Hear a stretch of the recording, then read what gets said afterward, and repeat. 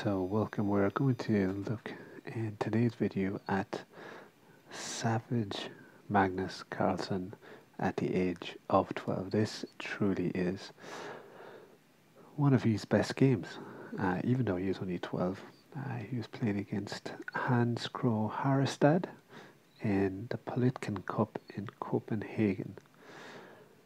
And this really is truly incredible. Um, so, uh, what's also incredible is the first 13 moves of this game are all book moves. So, we're getting a look at Grandmaster preparation, but even as a 12 year old, you see Magnus was on it. So, he starts off with e4, e5, knight f3, knight c6, bishop b5, a6. We've clearly got the Ruy Lopez opening, and a6, the Morphy defense. Bishop a4, knight f6, castles, bishop b5, bishop b3, bishop e7, rook to e1, d6, c3, castles, h3, knight a5, bishop c2, c5, d4, queen c7, knight b to d2, knight c6, d5, and knight to d8. So we find ourselves 13 moves in, both players completely in book. We got the Chigorin defense of the Morphy defense variation of the Ruy Lopez. Um, so pretty amazing stuff. Um, as we can see, it's a very even game. White is preferred slightly ahead. And so Magnus responds with up A4. Um, obviously with the ID that um, say let's just say uh, Hans does any other move, just the way waiting move. If Magnus takes here, obviously Hans cannot take the pawn. He'll have to push because if he takes, Magnus wins the free rook. So that's not going to happen at this level. So we get a4. Then we get a slight inaccuracy here from Hans. Uh, the computer thinks that it should go to b8, but instead he goes to a7. And then Magnus goes knight to f1, bringing the, the knight over to attack onto the king side. This is the plan. Um, getting all of these attacking troops towards the castle king. Then we get g6 bishop h6, h6 by Magnus, very simply knowing what he wants, wants to kick out the rook, gaining a tempo. Hans is has to go to e, rook to e8, and then we get knight to g3. Magnus bringing his knight now into the attack. Then Hans plays knight to d7. Then we get knight to h2 obviously um, Magnus may be thinking of bringing his knight this way, but also getting the pawn, maybe trying to open up uh, this file. Then we get f6, uh, making sure that there's nothing hanging down the line. Everything's protected. See, this pawn is protected twice, so everything is pretty solid on the king side. And we get bishop to e3 by Magnus. We get knight to b6. Obviously, thinking about coming in, infiltrating And here, also looking at the pawn depending on where our white bishop ends up.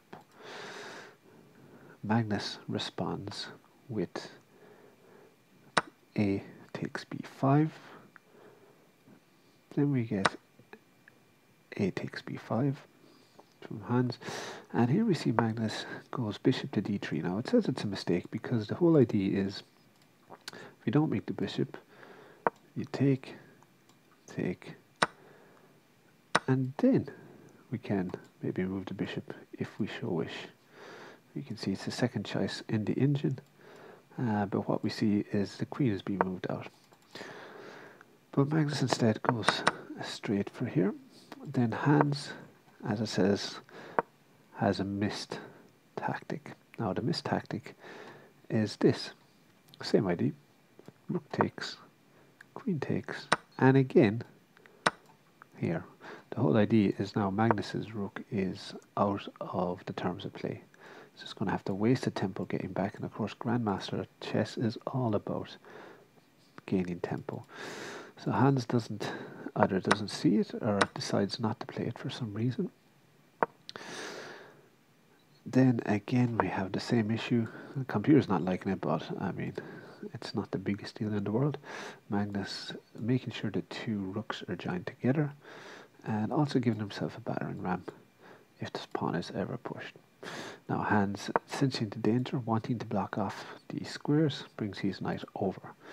Now Magnus plays rook to uh, a7, queen to a7 takes, and now an inaccuracy. Well, you can see what Magnus is trying to do, trying to win this pawn, and then Hans uh, may somewhat surprisingly pinning himself to the pawn, but obviously protecting it. Then we get knight to g4, um, followed by king to g7, which is an excellent move, giving extra protection on this square. Then we get bishop to c1, which is, of course, protecting any knight jumps. We get knight to a4, which is a mistake. Oh, Magnus brings back his bishop here. And we get rook to a8, queen to e3, which is a mistake.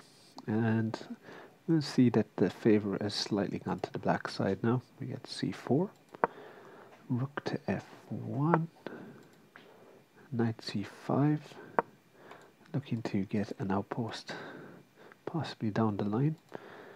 Then we get knight to h6. Now, knight to h6 is a good move because you're attacking this knight here. You've also got the battery up along here, so if he takes, Magnus will obviously get a check. So let's just check that variation. H checks here, and Magnus is slightly better. Um,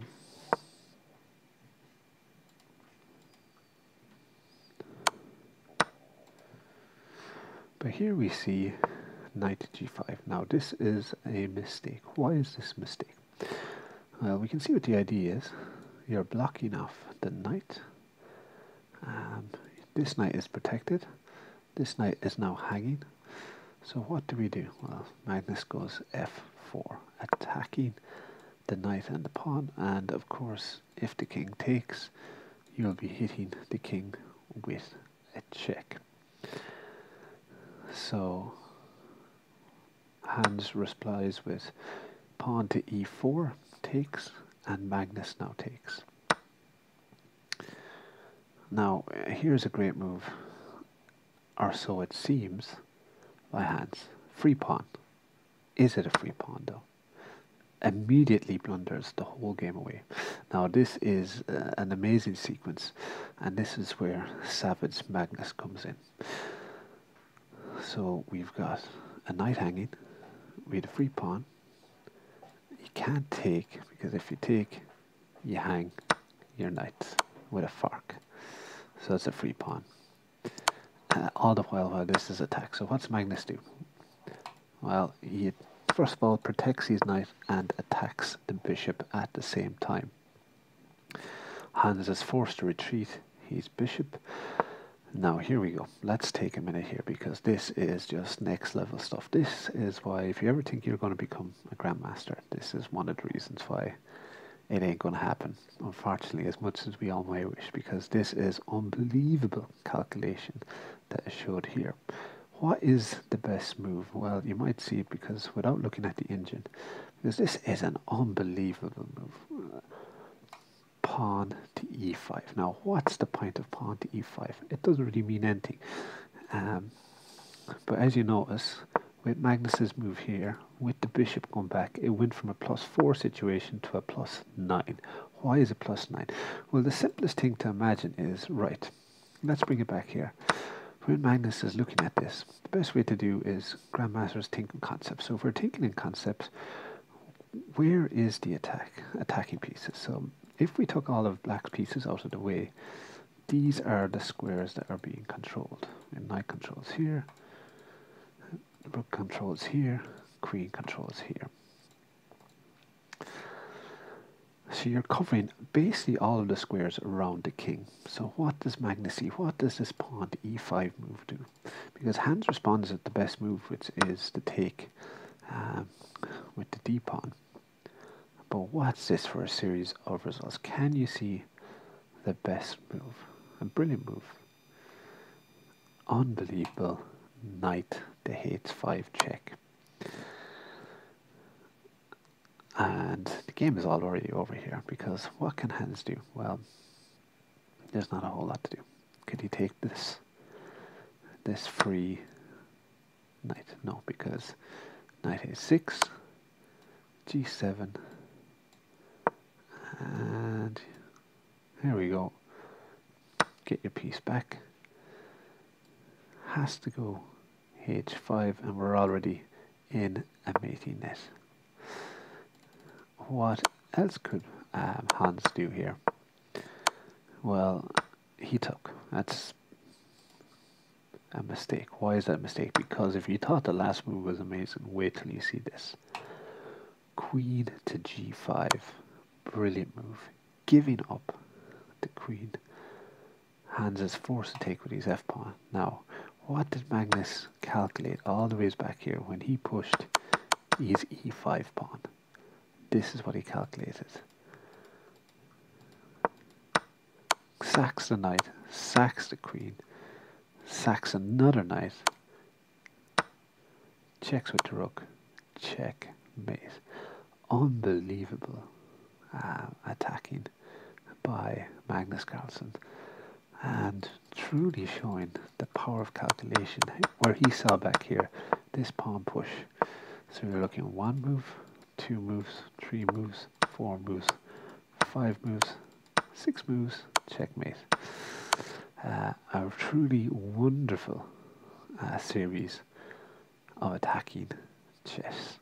And that's it. If you understand how to attack, well, you'll go very far. So an excellent example from Magnus Carlsen there, and certainly one that we can learn from. Um, if all of our pieces are attacking in one direction, how can you clear the way for them to do the very best. Well, I hope you enjoyed the video and please like and subscribe.